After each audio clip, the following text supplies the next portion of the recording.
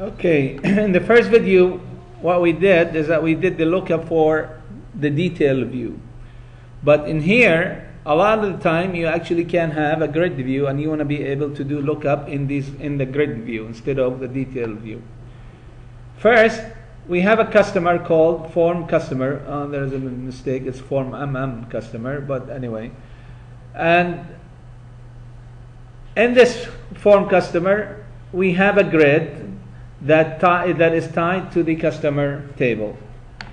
Now we want to delete some of those columns.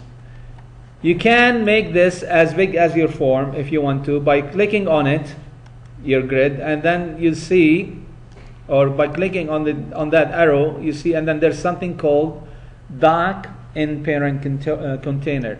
What it, that means, it means that it'll be how, as big as your form. Okay. If you don't want to do that, you just say undock it, undock from parent container. We want to edit the column. We have all these columns, and I want to. We have these two things that we really don't need. I'm gonna total sale. I'm gonna remove ABC. I'm gonna remove number of customer. I'm gonna remove, and then that one I'm gonna remove. So I just have basic information about the customer. All right. What else can we do? Let's take a look at the city. A city right now is a text box, meaning what? Here, if you look at the column type, it just say data grid view text box column. But you can say it is not a text box column, it is what? A combo box column.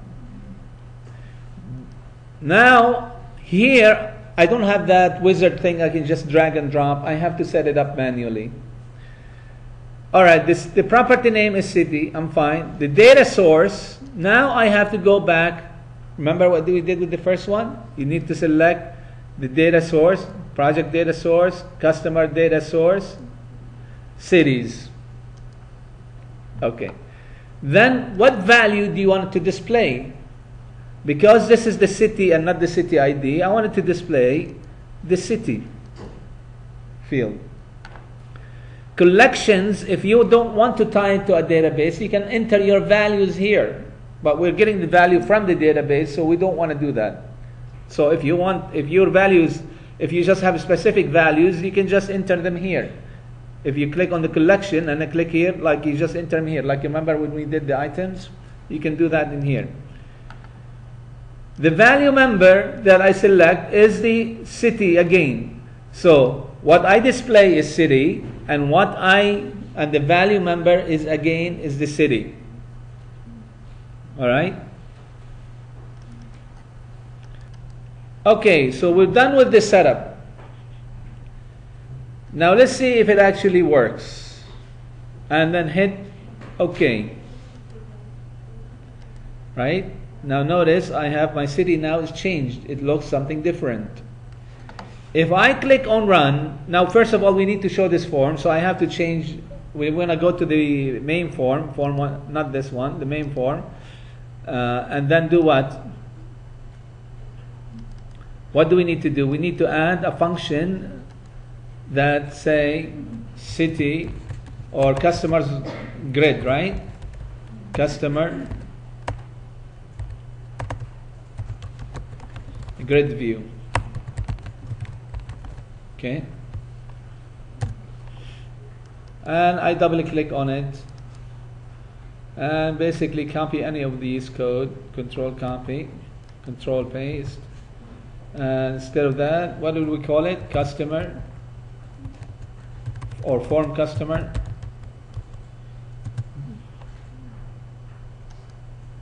Grid view.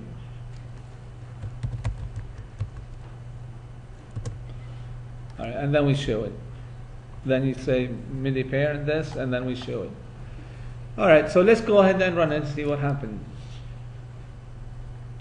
If I click on this and customer grid view, it works, right? And then I selected, if I select a different city, Sharjah, and I click on save, it works. But there is a problem here. The problem is that when you close the form, you get an error, you get an exception. And then if you hit OK, OK, OK, you'll get that error. You continue. The only way to get out of this is that you have to close it from anyway it'll eventually close here but you can close it from the program because I, I can't get rid of this you can just click on stop in the program okay are you getting the same error when you close the form when you close the form you get the error. And I'll tell you why you're getting this error. Okay go back to the form customer table. Watch what's happening Yasabaya these we had originally. The customer data set, the, the binding source, the table adapter, the table adapter manager, the navigator, all this we had previously. But when I change it to the when I changed the combo box, I get these two. City binding source and city table adapter. What's happening is when I close the form, I'm closing these first. I'm closing these first. And when it's trying to go through the data grid now, it's saying, oh, wait a minute, this table, the, the city table adapter is not anymore, it's not there anymore. So you're getting that error. So what we need to do is that we want to close the connection, the data grid, or we want to break the tie between the database and the data grid when we are closing the form before we the system closes these automatically. So I want to close these first, then I can close that one after. Now this is a little bit different. This is the way you do it. We have events. These events called are called depending on what's happening in your application. One of them is that when you are closed, when the form is totally closed, and one of them is when the form is closing. If you double click on the form, if you remember, if you double click on the form, on the code, we have a form called, we have a method called form customer load, right? So when you're loading the customer, when you first start with the customer, this is what's happening when you load the customer. I want to do something when I am closing the customer form. How do I do this? You go to the form, again, and click on the properties of that form. One of the options above, you'll see this uh, like a bolt. It's called events. Click on that and you'll see one of them is called what? Form what? And we have to select the form first to do that, okay? Not the grid. Select the form first. Don't select the grid because the grid has different event. Yeah? One of them is called what? Form closing. Do you see that? You have form closed and you have form closing. You have many things. Double click if I click on the form, if I drag and drop, if I do, all these can be programmed in your form. Here, the difference between form closing and form closed is what? One happens before you actually close the form, and one actually when the form is totally closed. You got the idea? So I want to do it just before I close my form. I want to tie that break between the data grid. So what is it? How do you do this? You double click on what? Form closing. Now in your code, you have an event to, that handles the form. All right? Okay, so what do we do with this form closing? Remember, I have the, I have the, uh, if you go back to the design, this, I have a data, this is a data grid, right? Let's take a look at the property of this data grid. What's the name of this data grid? If you select the data grid, what's the name of the property of the data grid? Not event. I don't want event. I want properties, right?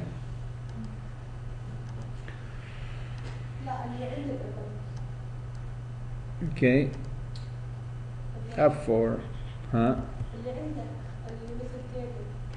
Yeah, yeah. Okay, here. What is this? What's the name of this uh, data grid? Table customer that. Table customer data grid view. This has an attribute called data source. Do you see that? This data source right now is tied to the database, to the binding data source.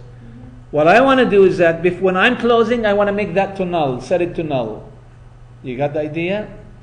All right, so let's go back to the form, and then here is my closing event. So I'm going to say this dot. Remember what was the name of that? Table what? Table customer. Dot table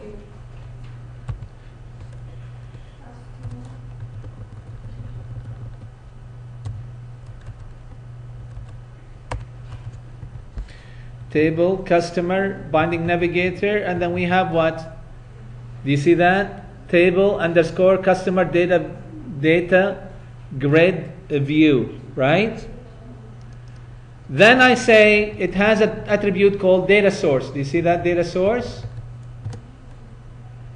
And then you make that equal to null. So before I close the form, I break the tie so I don't have that issue one closing before the other. Okay? Now let's go ahead and run it and see what happens. If I click on this, and now if I click on close, I don't have that issue anymore. You got the idea? Yeah.